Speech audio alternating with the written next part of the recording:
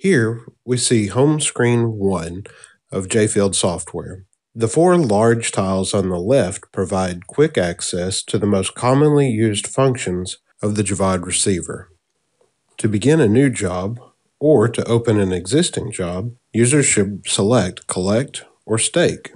Users should also select these options to begin surveying points or to stake to points and lines. CoGo functions are available through the CoGo tile, while Setup allows a user to create profiles for correction input and to set up survey action styles, as well as the user buttons located on the bottom of the receiver U1, U2, U3, and U4. The icons located at the top of the screen are available for seeing the current status or configuring various elements of the receiver.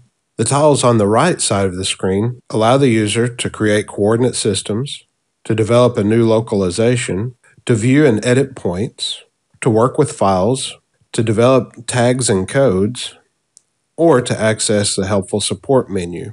Notice that the support tile shows that a new update is available for this receiver.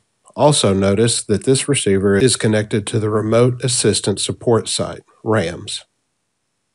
Pressing the Home hard key on the right side of the receiver or the plus or minus key, also hard keys of the receiver, takes the user to the second home screen. These are less used but necessary functions available to the user. Notice that the data exchange at the bottom allows for import and export of numerous file types.